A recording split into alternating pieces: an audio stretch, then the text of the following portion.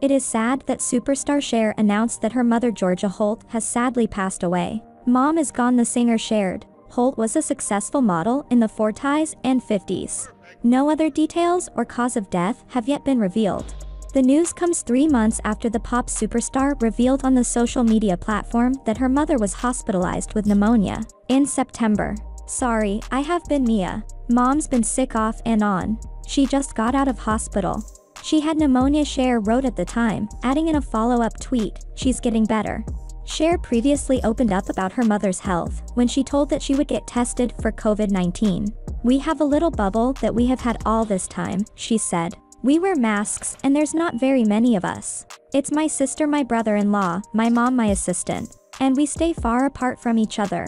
She added I have to be careful too because I have asthma. I have different health problems. Holt was married and divorced six times, including twice to her first husband. Holt remained in a relationship with her last husband, Craig Spencer, from 1976 until her death. Don't forget to like share and subscribe and thanks for watching.